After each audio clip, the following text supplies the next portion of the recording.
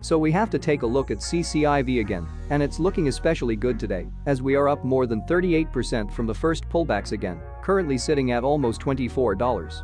Those pullbacks happened after spiking about 435% after going public in January and brought the stock peaking at prices of about $65 down to regions we are now seeing first signs of a potential strong recovery of. So what we are going to do today is give you an insight into what is happening to CCIV's stock and break down exactly whether it is still a buy at the end. And as the analysis in the video is absolutely crucial to consider before buying the stock, make sure to stay tuned. But before we jump right in, just hit that subscribe button down below. And as we'll keep you updated on breaking news and awesome trading opportunities every single day, subscribing would not only help us but also you. So there is really no excuse for not smashing the subscribe button, it's free, and you can always unsubscribe if you feel so. Alright, so in order to figure out whether CCIV is a stock to buy at the end of this video, we, as always, first have to quickly break down the company's business and fundamentals again. In the case of CCIV, we're looking at a company whose pretty much only reason for being so interesting is that it brought Lucid Motors public through a special purpose acquisition company, or SPAC. And as mentioned before, with Lucid Motors being another electric vehicle company, the hype around the stock can easily be explained with the general hype around the EV space. What made the stock go up so much in the first place however is the optimism of investors that the company can actually compete against giants like Tesla in the very competitive business. And this is not as unlikely as it might seem, especially as the two companies are targeting two different types of customers. While Lucid is starting on the high end with its Lucid Air Dream Edition, which will have a price of $169,000, Tesla focuses more on the broader cheaper car sector. This then leads to fewer conflict between the companies and of course a higher chance of Lucid Motors succeeding.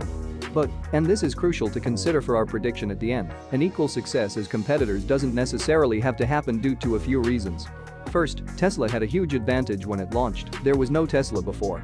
In fact, there was little competition of any kind. The few electric vehicle models from major manufacturers, like the Nissan Leaf or the General Motors Bolt, generally targeted the lower end of the market.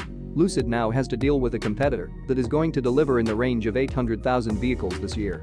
Meanwhile, other huge manufacturers are going big into EVs. So concerns over whether it can beat out incumbents like Tesla and dominate the luxury EV market remain on the table. But what is even more important, before we can come to a prediction at the end, is a potential partnership with Apple itself. It's no secret that Apple is fascinated by the potential in the automobile market. Apple became the world's most valuable consumer products company with the iPhone. Not surprisingly, however, that's been a tough act to follow. What could it launch that would come close to matching the iPhone in terms of either innovation or commercial success? With that in mind, a leading electric vehicle would be one of the few things that could still move the needle for Apple at this point. Apple is set to invest hundreds of billions of dollars in capital expenditures and research and development in coming years. With a good chunk of that going to vehicles, Apple could turn into a major player. To that end, there have been tons of rumors about Apple and Lucid potentially working together on a vehicle in the future. So far, Lucid's management has denied any material talks between the two firms. However, traders remain optimistic that Lucid has some partnerships in the works. So to sum it all up, Lucid Motors has huge potential. Buying right now however is very risky, which is why we recommend waiting for the first actual cars to be delivered and the following either negative or positive news before buying or adding more stocks. Alright, with that being it for today's video, thank you very much for watching.